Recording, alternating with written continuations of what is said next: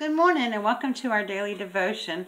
Sitting inside today, it has just been raining so much over the last several days, so it's kind of cool outside. I hope you all had a beautiful, blessed weekend. I know mine was very productive.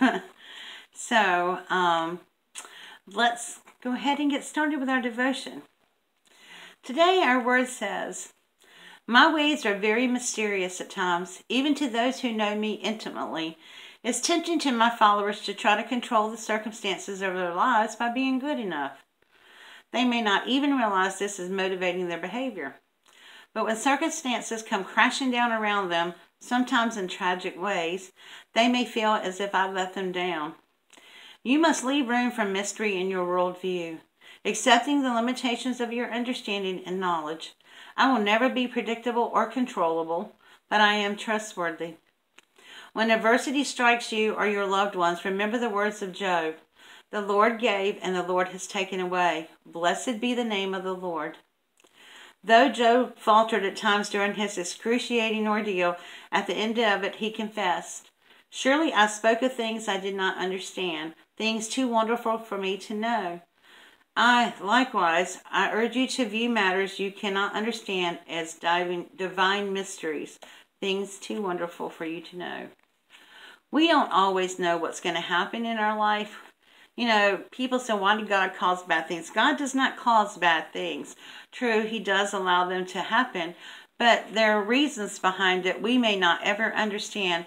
But I promise you that good will come from it if you allow it to. We just have to understand the words of Job the Lord gave and the Lord taketh away. You know, um, Sometimes it's testing. Sometimes it's just this cruel world that we live in that's full of sin. And, you know, but God is always there to help us pick up the pieces. His ways are not always known to us. So we have to trust Him to get us through these catastrophes at times. And it's hard. And I realize that. And I talk to myself as much as I tell you to. So today our verses come from 1 Timothy 3, 1, 3.16.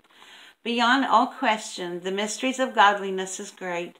He appeared in a body, was vindicated by the Spirit, was seen by angels, was preached among the nations, was believed in the world, was taken up in glory.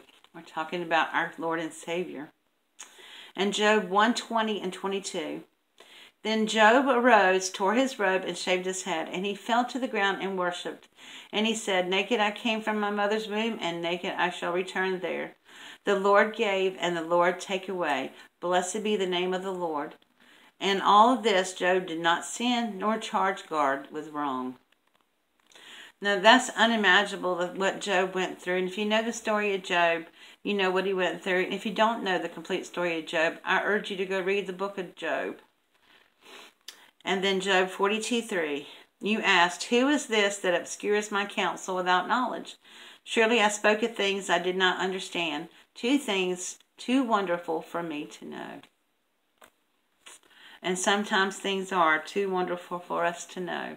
But we will know one day the mysteries that the Lord has performed down here.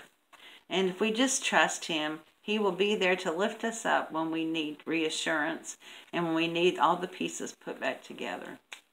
Thank you, my friends, for joining me for this daily devotion, and I will see you all tomorrow morning, and I'll see you a little while later on today with Monday Morning Coffee.